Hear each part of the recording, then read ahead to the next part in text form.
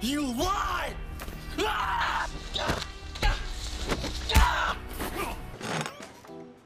Oh, hey, Abby. Can you at least open it halfway?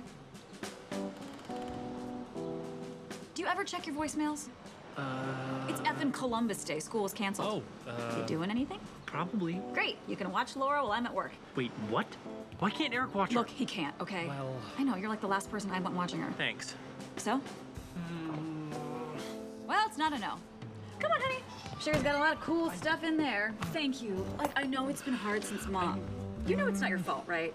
I mean, it's just like, I'm sorry I haven't been around. It's just we didn't end on the best of terms, which is not really your fault. And you had to take care of her by yourself, and I just, I'm really sorry about that. Go to work. Okay, you know, we'll talk when I get back. Thanks, Gareth. That was aggressive. What do I say? Something cheesy and charming and flattering. Like, say, they say beauty's only skin deep. But girl, I've got x-ray vision, and you're beautiful all the way through.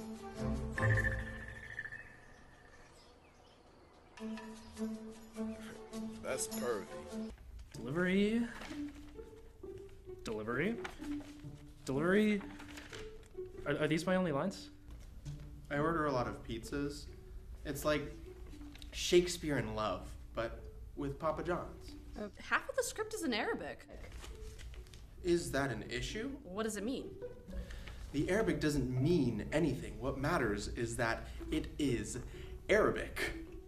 Freaking genius.